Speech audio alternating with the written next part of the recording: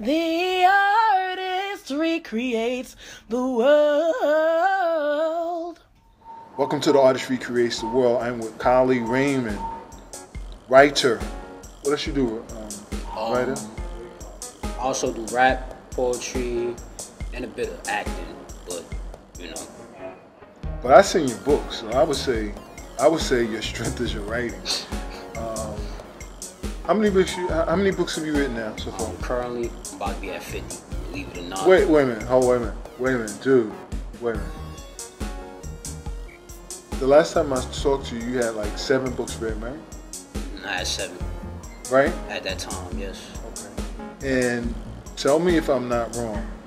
Out of those seven books, those books were over like 30,000 words each, right? Correct. Okay. So now you tell me you have 50? Almost 50. I'm working on my uh, 50th one right now. Very special project. It'll be releasing within later of the year. Taking some time to um, develop some new material. But I also do have um, three more books coming out in February. Two on Valentine's Day and um, another probably within the last week of February, probably that last weekend or so. And so uh, I will be um, posting updates about that as well on my social media. Okay. Uh, which which books are published? How many are published? Um, out of those nearly 50, I currently have 41 published right now. As everything else is um, set up for pre-order or being developed as we speak. Okay. So I talked to your mo- mother briefly because we did an interview before months ago um, with uh, Mayor Ras Baraka um, at City Hall. And your mother was telling me, tell me about this early process because you've been writing for a long time. Yes. So it's not like you're an old dude, like you call the people old today in the news. you call the, call the people old in the me. They was like, all the people like, who you talking to? I ain't mean to come so, I, so I told him the next time when you want to refer to older people, you say, um, all the other generations here like that, you know, and then they don't get offended. But we all learn lessons. But yeah, I talked to mom. Talk about how long you been writing. Because it's not like you old. How old are you? Um, I You're in your turned- 20s. I turned 19 last year, so I should be 20 by the end of this year. Yo, this guy is 20. You know, and I have to say, I know I asked you a question, but the reason why I'm so jealous is because I have some manuscripts that I work with, and I know we have different material, but I do this series because I like people to, to know and understand different type of artists because the writers the writer is close to my heart. And I say the, the the only book that I have published it was 25,000 words, and that joint was yo bust my brain. I'm working on another one, which is another 25,000 words, but it's it's it's it's work. So when you say, and I said 25,000 words, one of your books has like 60,000 words, right? You know what I mean? My biggest one got over, I say 100K. Over, well over 100K. So okay. Now, so where do these ideas come from? Let me go. Let me start there. Because your mother told me, what's your, your mother told me like when you were young, you were- you focused on. So how was how did that work? I mean, when I was young, I started writing what you would call comic books. They weren't really comic books, you know. I took notebook paper, ripped them out of notebooks, and folded them up. Right, you were talking about that story here. pictures and Yeah. um, dialogue or whatever. Um, well, I got many inspirations from you know things in my daily life, people I've known over the years, such as my teachers, you know, um, classmates I may have had. That's right. Your principal was at the um, book Right. signing, right? When I was in eighth grade, yeah, he was there. I wanted to get my guidance counselor from that time to come, but couldn't make it. But he did give me all his best wishes at that time as well. So we're I'm sorry, we're at Express Newark, and um, we just came out of an event. What was the name of that event? Um, it was Pearls of Wisdom. It was an intergenerational discussion, you know, about what was Newark in the day, Culturally, back in the right. day, what is Newark now, and what can it be in the future. So we're talking about culture. So we had like a whole, yeah, like an entire discussion circled around like um, arts and work such as poetry, um, writing, music, All, all the arts. Basically, yes, Everything all that arts. pertains to and jazz, jazz, which is a big part of Newark, because you know Sarah Vaughan, we talked about her too, which is arguably one of the most best vocalists in the, in the industry of all time. So she goes like a household name, you know, in the jazz scene, not only in Newark but possibly across the world. You you went out on jazz. I mean, I'm trying to find out how you write these books. So tell me how the how the process of an idea of a book. Like, what's the last one you wrote? I mean, um, the last one I wrote was a book of poetry, I believe. Yes, it was a book of poetry. As I'm now, currently, I'm really heavy into poetry now. You know, I've been writing lots of volumes, you know, of poetries with poems pertaining to certain, can I say, uh, themes such as centered around living in urban community, Right. gang violence, death, Yeah. losing someone you love or loving someone from a distance, but you what to say to them, things of that nature. Right. That's the art. That's the art that need, is, is needed. So, um, tell me about one of those, one of your books that you really um, were close to. How did that idea come about? Because you got so many books. I, I can't. I don't know. So- How about your first one? My first one, I could discuss my first one, and I also want to bring my tenth one up too, but I always discuss. All right, bring your tenth one up. That if that's more comfortable for you. I mean, we that. could. I could discuss the first one too. So, I Okay, mean, that's great. the one that got me started. Right. My first book, The Ballad of Sydney Hill, which I had published. What was the name of it again? The Ballad of Sydney Hill, right. as in like a hill. Please forgive me, y'all. I'm slowing down here. It's late. But anyway, got you. And what was that about? Is that a novel? hmm It's a novel. Um, I published it. It was my first book that I published back in 2014. At the time, I was 15, I believe. Yeah, I was 15 back then. Wow. And then I started working on that when I was eighth grade. You know, cause like it was a book I read in class, and I had read that same book like two years prior, and then it inspired me to write my own piece. How long? How long do you write during the week? I mean, I write every day. Right. Usually, That's I'll- important for usually writers to I'll, write I'll. I'll write like either in the morning or I'll write at night. I mean, I'll recommend the morning because you know when you wake up, your thoughts is fresh. Yeah. you know, and then you could just go at it with it. You know, Yeah, I, try, I try, I try to write. I try to write before I go to school. And sometimes I write in school, Writers are different, but and um, sometimes I know I shouldn't be, but I be be writing in class even though I should be. I Well- be paying attention. I mean, there are exceptions to the rule. There are always exceptions to the rule. And um, if you wrote 50 books already, um, I would say you would be an exception to the rule.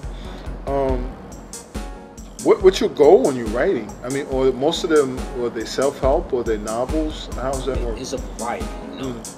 But my, my main focus is to tell my story to you know maybe somebody from where I'm sitting and say, hey, I can relate to that. You know, if he went through it, you know, Right.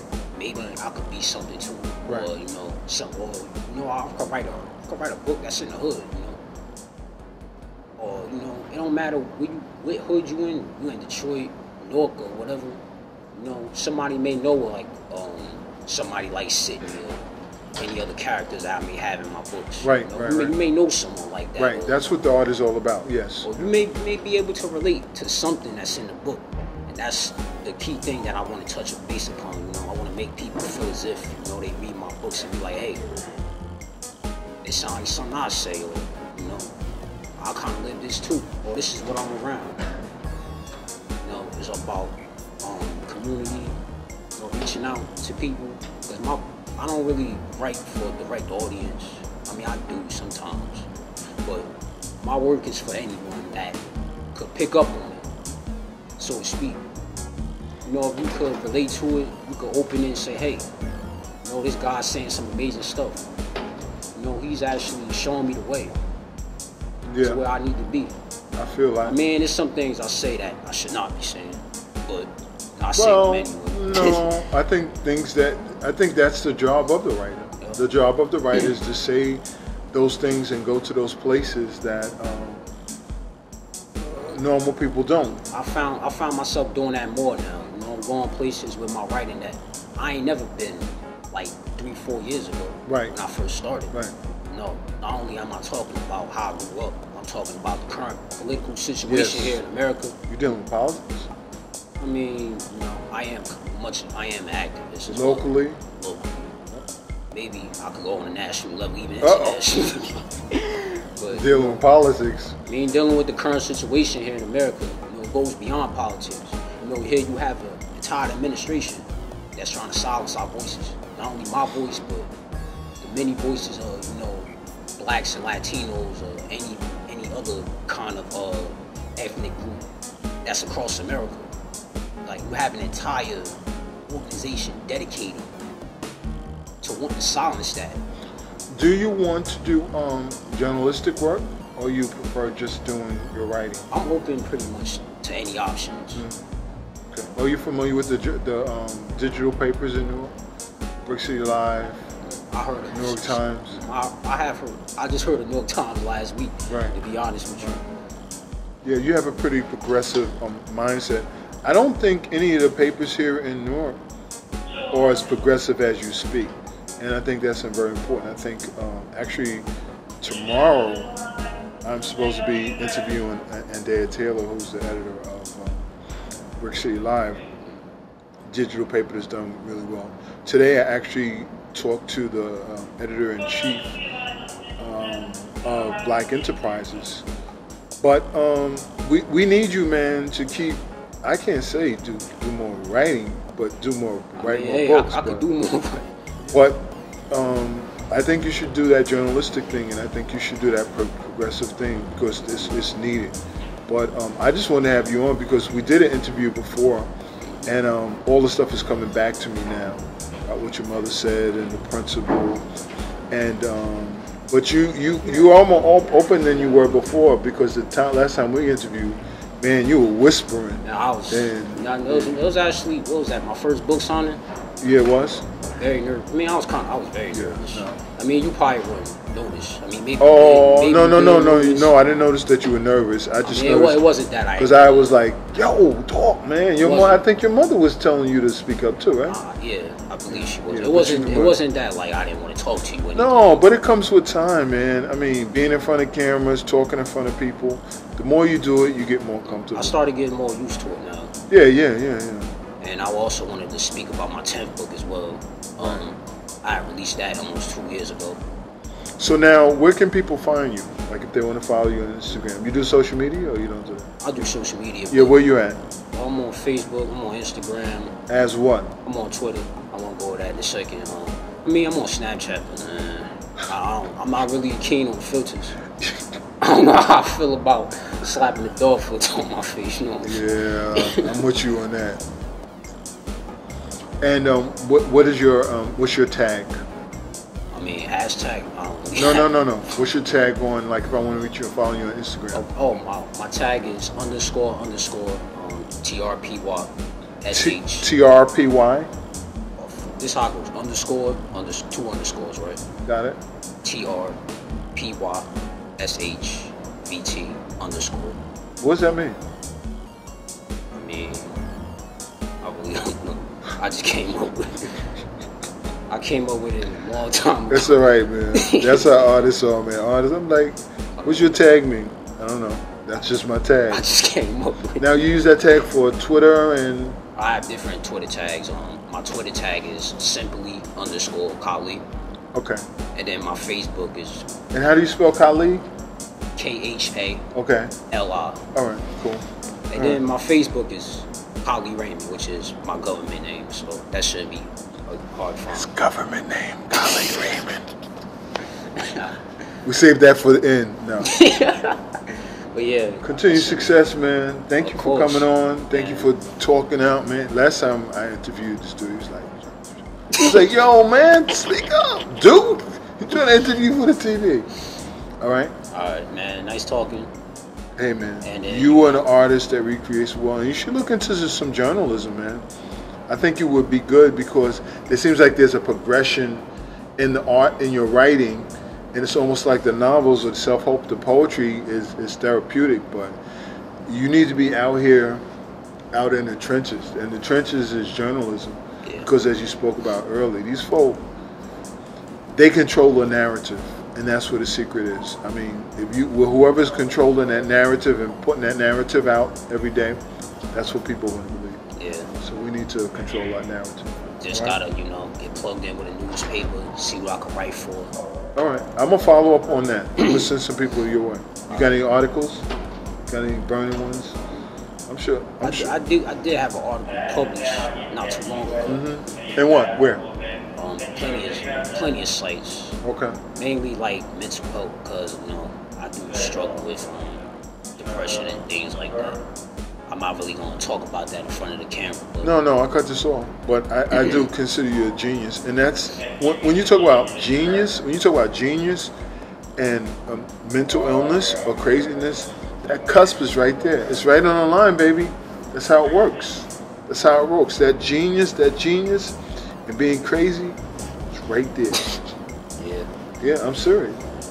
That's, I mean, I think that's why artists are so, you know, we're so weird and so crazy and so zany. We do some, you know, I mean, we can we can write and color and paint and everything, but then if you ask us what color's our washcloth, we'd be like, what? We're like, what? I'm like you know last time I remember it was green, but why is it red also? I ain't messing with you, man. it's too late. Yo, we out, man. Yeah. Follow him, check him out. Um, I don't disappoint, yeah, appreciate your work, man. Keep it up. no problem. Peace. We out. Peace.